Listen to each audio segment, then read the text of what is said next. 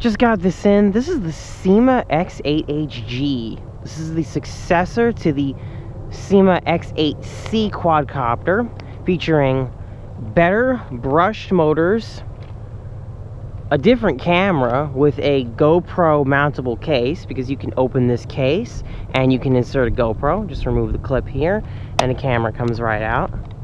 I won't remove it for the sake of this video, but yep, you can put a GoPro on this. And finally, last but not least, it has altitude hold. So we're gonna put that to the test today and see how this works. Battery is still your standard Super Tiger connector. Stock battery is 2000 milliamp hours. And this one I'm using is 2200 milliamp hours, the Tenergy one. Same one I had with X8C. Uh, so I'm gonna go ahead and get that plugged in ready to go.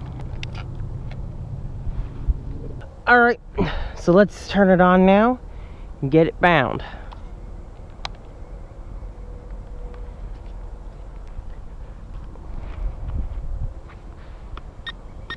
Bind procedure is very similar to all the other Syma quads. Hold up on the stick, and it starts up.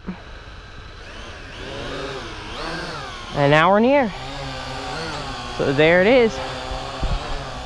Let's just test the uh, altitude hold for a minute here. Well, it's certainly holding its spot. We've got a little bit of wind. It's holding its altitude. It will drift from side to side. Maybe just trim a little bit.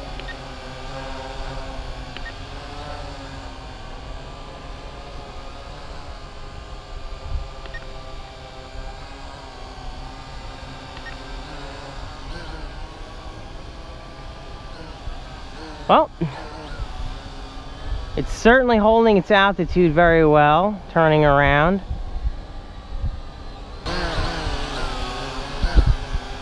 All right, so now let's turn on the camera.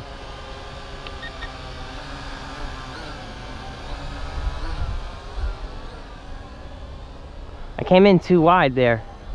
The yaw rate is very slow, but that's the same and to be expected.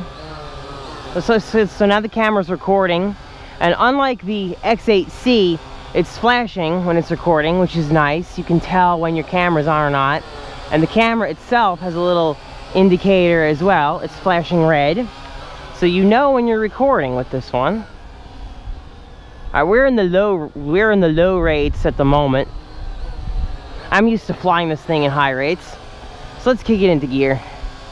Actually, before we do that, let's just get some shots of me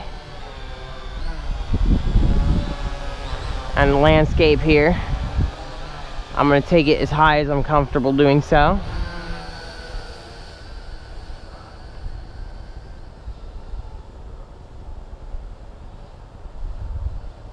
I did notice that in my first few flights there is some jello in the video and it can be hard to uh, keep the quad in, in its column, so to speak.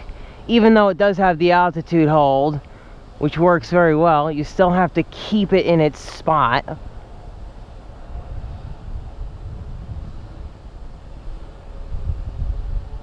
There you go, just some footage. Alright, so now this is really important, and a lot of people have been having this issue because this is just the way the altitude hold works. You cannot come down full on the throttle. You cannot. Because if you do that and you push this left stick all the way down, it will shut the motors off. So don't do that. Come down light, come down light, Bring it down, bring it down, bring it down, bring it down, bring it down. Don't hold it for more than three seconds or you're gonna just crash. Because as I said, when you hold it down, it shuts the motors off. That's its key to shut the motors off. So you hold it up to turn the motors on and down to turn the motors off.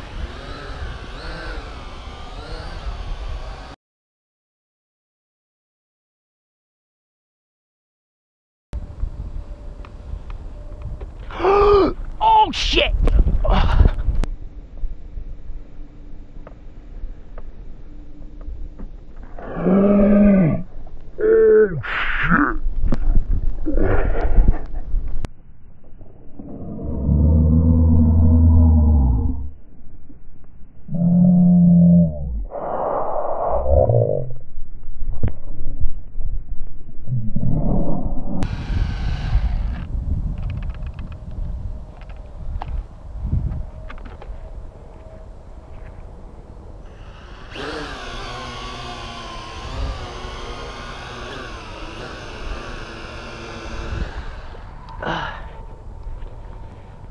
Wow, okay, so what is there to say after something like that?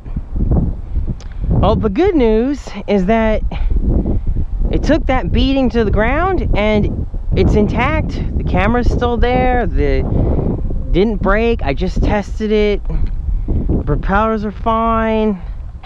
Seems pretty good. I do want to take this time to mention that these motor screws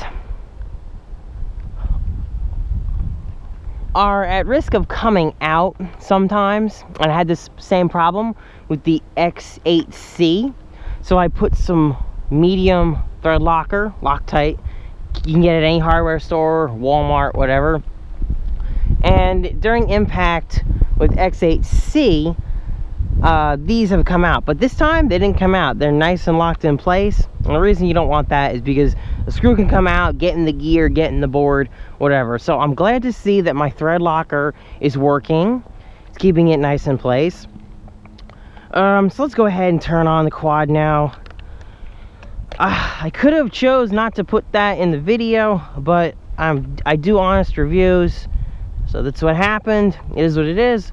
Let's just roll with this and get some more footage so you guys can see how it is.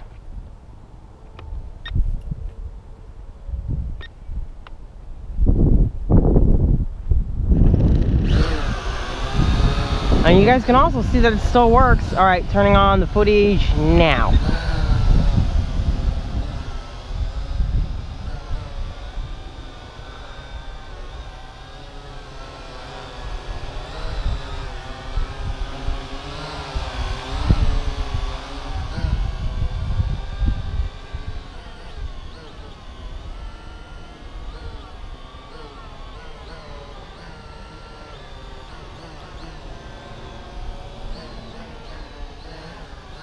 I guess, so that means when you're letting it down, basically you have to be extremely careful.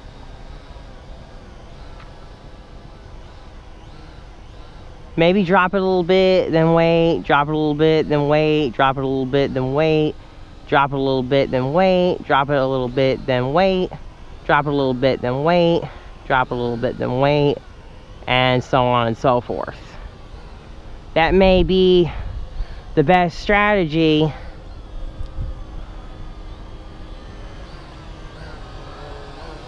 until if and when perhaps Syma fixes the problem or if they even consider it a problem.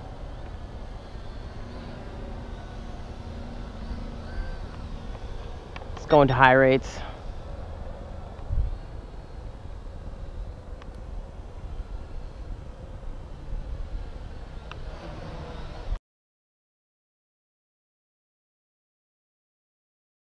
So.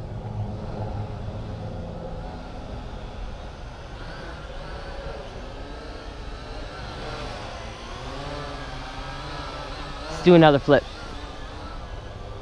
Because I need to have some fun after that crash. I was very disappointed.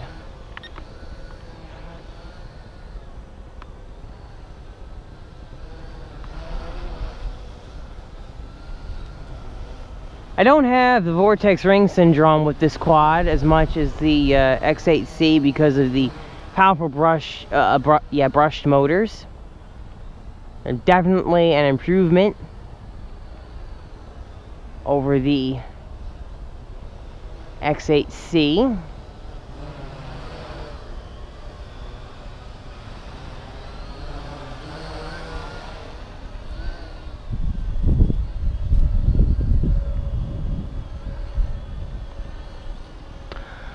when I crashed, the camera came out of the quad and I tried to recover the video from the camera and I was not I was only half successful. I did find an application online that allowed me to recover part of it. So I will have a link for you in the description below for those of you who may have a crash with their, this kind of camera and want to recover your video. I was able to recover part of it. That's how I was able to show you some of the video um, in the previous run.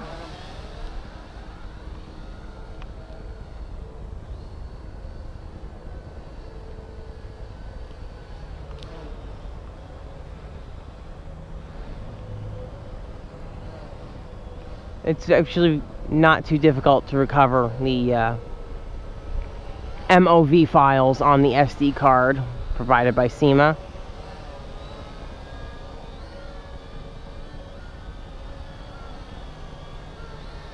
Some nice steady shots. Here I am. And there's our dog.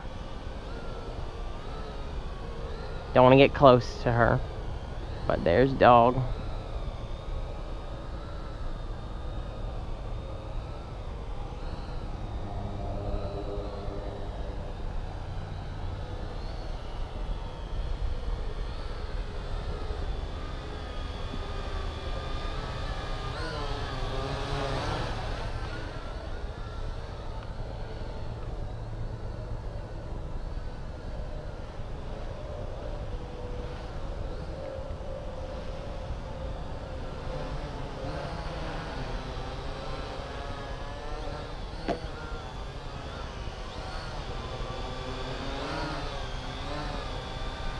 All right, well, now I'm gonna land.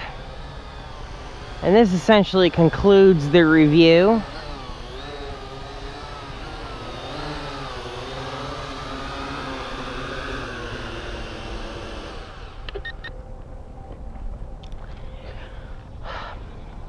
Thumbs up for durability. Thumbs up for a better camera. Thumbs up for better uh, brushed motors that don't get burning hot to the touch. Thumbs down for the altitude hold being finicky and having to be extremely careful with the throttle or else you will fall out of the sky. And that's about it. That's the Syma X8HG. Don't forget, Loctite on the screws. And let me know if you have any questions and have a good day.